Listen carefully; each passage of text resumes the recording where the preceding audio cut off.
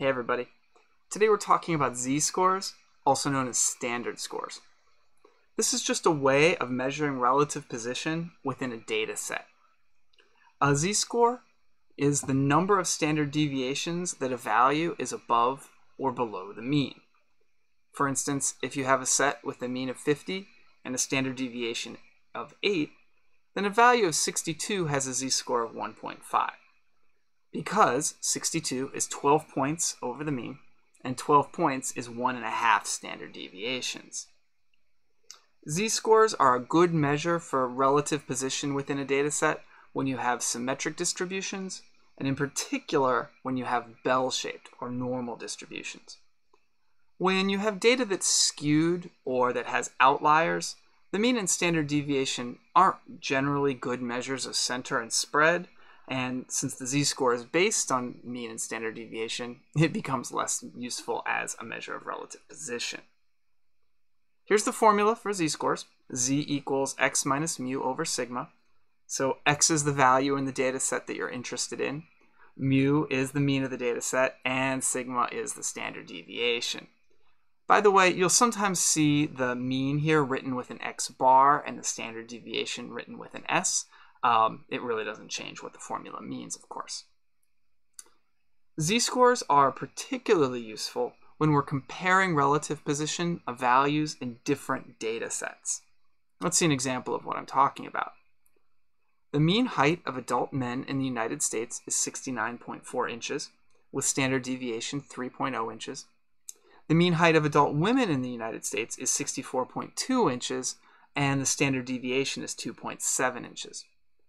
Which is more unusual, a 64.2 inch tall man or a 69.4 inch tall woman? So a woman with the average height of a man and a man with the average height of a woman. Let's compute some z-scores. So for the man, we have 64.2 minus 69.4 over 3. So you take his height minus the average height of men and divide it by the standard deviation of men. We get negative 1.0 0.73. So this individual would be 1.73 standard deviations below the mean height of men. Similarly, for the woman, we compute a z-score of 69.4 minus 64.2 over 2.7. Her height minus the mean height of women divided by the standard deviation of the heights of all women. Notice that uh, the denominators are different in these two cases, because the two, different two distributions have different standard deviations, different amounts of variability. In this case, we get 1.93. The woman is 1.93 standard deviations over the mean in height. So um, in absolute value, the z-score for the woman is greater than the z-score for the man, so she's more unusual. Her height is further from average, relatively speaking. By the way, notice that we've made that decision despite the fact that the two of them are um, the same amount from the average, um, namely um, 5.2 inches. Generally, most of the data in any distribution lies within one standard deviation of the mean. Z-scores tend to be small in absolute value. As a convention, we sometimes consider data that lies more than two standard deviations away from the mean to be unusual, and data that lies more than three standard deviations from the mean to be very unusual. But this is only a rule of thumb. It's not a sharp distinction. One way to convince yourself of that is just to notice that there's um, generally not much difference at all between data that has z-scores of 1.99 and 2.01 those z-scores are very close, although one would be considered unusual and the other would not, according to this standard. Here's an example of how that standard could be applied. Should a 76 inch tall man be considered unusual? Recall that the average height of men in the United States was 69.4 inches and the standard deviation was 3 inches. So we compute a z score. We take his height, subtract the mean height, and divide by the standard deviation and we get 2.2. So this individual is 2.2 standard deviations taller than average. And we would consider that unusual according to this standard. The absolute value of that z-score is greater than 2.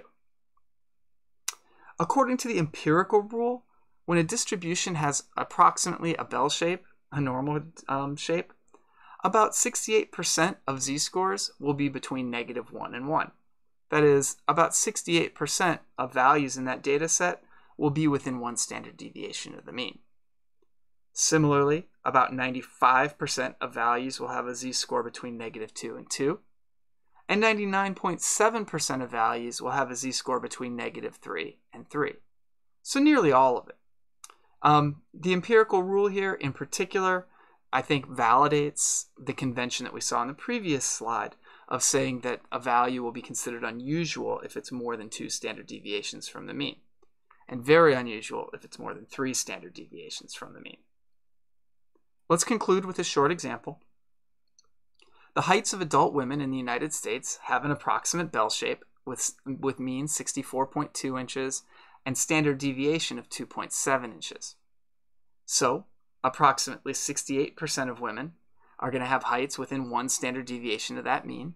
So, we subtract 2.7 from 64.2 to get 61.5, and then add it to 64.2 to get 66.9.